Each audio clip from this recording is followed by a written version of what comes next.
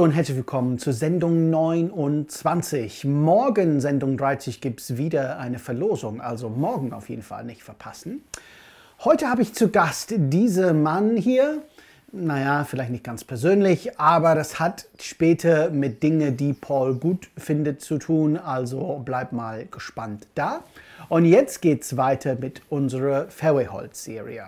Und heute ein Tipp, den ich persönlich super wichtig finde für optimale Längen mit Fairway-Hölzern. Hey, bevor wir den Tipp starten, macht es viel mehr Spaß für alle, wenn Sie meinen Kanal abonnieren würden, hier unten irgendwo und natürlich sharen und liken so viel wie Sie können. Danke. Ja, wie man sieht, ich habe fast alle Gänseblümchen verarbeitet. Die sind ja fast alle weg. Es kommen noch ein paar nach auch noch. Insofern, ich habe noch zu tun mit der Übung aus der vorletzten äh, Videogeschichte. Heute geht es aber darum, wie man optimal den Impact gestaltet, um maximale Länge mit dem Fairway-Holz zu bekommen. Und man denkt immer, weil man das so viel hört beim Schlag und so beim Abschlag, dass es um die Geschwindigkeit im Performance sich handelt. Und ja, tut es auch, logischerweise. Je höher die Geschwindigkeit, desto weiter fliegt der Ball in der Regel. Aber es gibt ja einen weiteren Faktor, der vielleicht genauso wichtig ist und in meiner Erfahrung eigentlich der Hauptgrund, warum Sie persönlich nicht die maximale Länge aus Ihren Fairway-Schlägern bekommt. Und der Grund ist, weil der Launch Angle des Balls zu flach ist. Also Sie kriegen ihn nicht in die Luft. Und deswegen, weil natürlich der Golfball liegt auf dem Boden. Und wir müssen dafür sorgen, zuerst einmal, dass wir überhaupt vernünftig treffen. Und häufig sehe ich Leute, die eher so im Impact sind, haben den Schläger 10 Grad nach vorne geneigt. Und wenn ich mein 18 Grad Hybrid 10 Grad nach vorne bringe, um den Ball ordentlich von dem Boden wegzubekommen, um Ball Boden schlagen, dann hat er nur 8 Grad Loft im Treffmoment und fliegt entsprechend sehr flach und trifft den Boden einfach zu früh und fliegt nicht weit genug. So viel Rollweg können Sie nie wieder gut machen, wenn Sie auf so viel Flug verzichten. So was muss man machen? Man muss schon natürlich dafür sorgen, dass man nicht nur hohe Geschwindigkeit hat, sondern auch sehr viel Neigung. So, wie kriege ich das hin?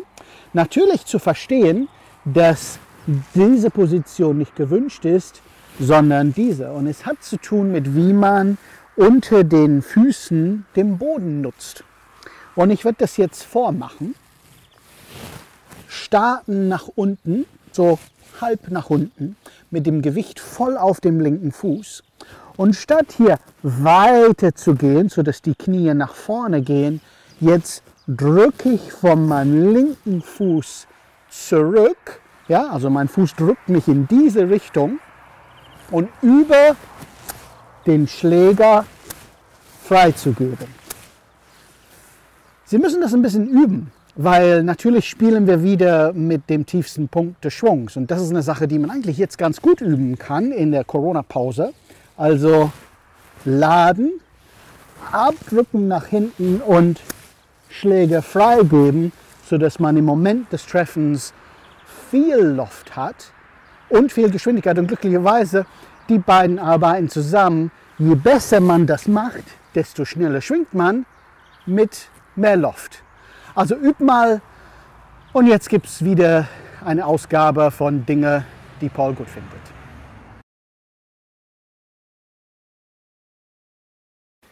Ja, wirklich. Wir machen Zählketten. Zehn Jahre lang habe ich einen Pro-Shop betrieben, Gott sei Dank nicht mehr. Und ich habe am Anfang gesagt, Zählketten kommen bei mir nie ins Haus. Äh, tatsächlich aber verdient man sehr viel Geld damit und deswegen haben wir sie später doch verkauft. Aber ich wollte den Sinn von Zählketten untersuchen und äh, eine erste Google-Suche äh, ergibt das hier, dass man tatsächlich nicht nur Zählketten äh, finden kann online, jede Menge, sind auch sehr günstig. Und äh, deswegen umso überraschender, dass es auch diesen äh, Sucheintrag auch noch gibt. Ja, also wer 3,99 nicht, sich nicht leisten kann, aber tatsächlich die Leute basteln sowas hier. Toll. Ja, also äh, gut, es ist in Zeiten der Corona-Krise, wir haben ja alle Langeweile und äh, möglicherweise kann man es überlegen. Aber warum gibt es denn überhaupt Zählketten? Ich habe es persönlich nie verstanden in Golf, aber bei anderen Hobbys, die man hat, zum Beispiel als ich neu nach Deutschland kam, habe ich wieder ganz intensiv Tennis gespielt und ich wusste nie, was der Spielstand war. Und mein Spielpartner, der Peter, das hat ihn immer genervt und ich glaube, er hat mich auch verarscht ein paar Mal, nicht nur ein paar Mal, äh, mit dem Spielergebnis, weil ich aber nie wusste, welches war. Insofern, ich verstehe das schon, dass man einfach vergisst, weil das Spiel ist neu, man hat so viel, worauf man konzentrieren muss, dass man äh, eine Zählkettenhilfe braucht. Vielleicht. Aber in diesen Videogeschichte. Hier geht es darum, dass man natürlich weniger Schläger braucht irgendwann und nicht äh, eine Zielkette braucht. Weil wenn man nur zwei, drei oder vier Mal einen Ball geschlagen hat, das wird man ja wohl nicht vergessen. Und je routinierter man spielt, deswegen natürlich ähm, denkt man nicht über nach, was man genau macht, sondern man weiß ja ganz genau, wie viele Schläge man hat. Und deswegen vielleicht habe ich jahrelang Zählketten verpönt und die Leute ausgelacht äh, die es benutzt haben, aber im Nachhinein vielleicht braucht man das. Ähm, ja, also tatsächlich Zählketten, wo gibt es Zählketten, wo kommen die überhaupt her? Ja, äh, genau, ja, für äh, Grundschulkinder. Gut, wunderbar. Äh, also vielleicht sollte man sich abgewöhnen, das zu machen. Aber Leute, was ich entdeckt habe, ist, dass es zehn Kügelchen gibt auf eine Zählkette. Und das macht keinen Sinn. Weil, wenn sie noch nicht gut genug sind, um äh, selber zählen zu können, das verstehe ich ja auch, ja. Und äh, sie brauchen so eine Zählkette. Warum 10? Weil sie müssen ja auch Stableford spielen. Das ist hier Dr. Frank Stableford, der das alles äh, erfunden hat. Kommt aus Lancashire, England, wo auch Top-Leute aus der Golfszene herkommen. Und äh, man kann ja eigentlich nur neun Schläge haben, weil selbst auf ein paar fünf wenn ich neun spiele, abzüglich meinen drei, die ich vorbekomme. Ähm, naja, also so theoretisch, äh, na gut, wie auch immer.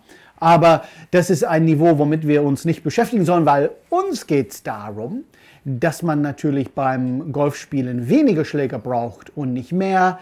Insofern findet Paul Zählketten gut? Nein, nicht wirklich.